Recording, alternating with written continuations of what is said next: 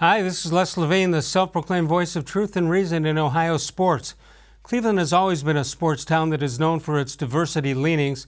Just think of these names Larry Doby, Satchel Paige, Frank Robinson, John McClendon, Lenny Wilkens, Wayne Embry, Paul Silas, Mike Brown, Tyronn Lue, Koby Altman, and more. Cleveland's track record in diversity is as good as any sports city in America. And now the Cavaliers have taken the next step by hiring a woman Lindsay Gottlieb, who until today was the head coach of the women's program at Cal Berkeley. Apparently, this is not a grandstand move. New head coach John Beilein said she will have an important role on the Cavaliers' coaching staff.